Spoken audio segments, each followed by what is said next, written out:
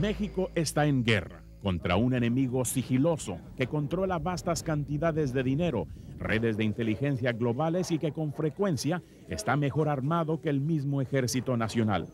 ¿Quién es este contrincante tan poderoso? El narcotráfico internacional.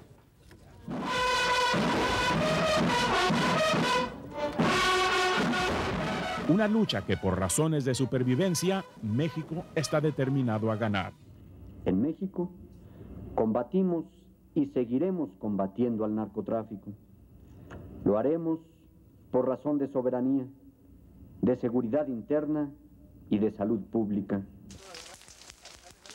De acuerdo a estadísticas proporcionadas por la Procuraduría General de la República, los agentes mexicanos siguen propinando serios golpes a las redes de producción y distribución de drogas.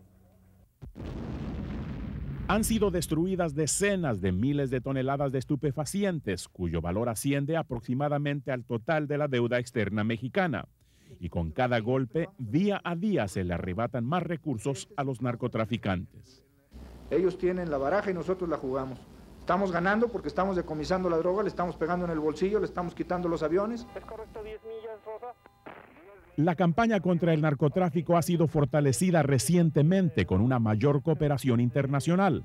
Los Estados Unidos ha enviado a México más helicópteros y sofisticado equipo de inteligencia y reconocimiento.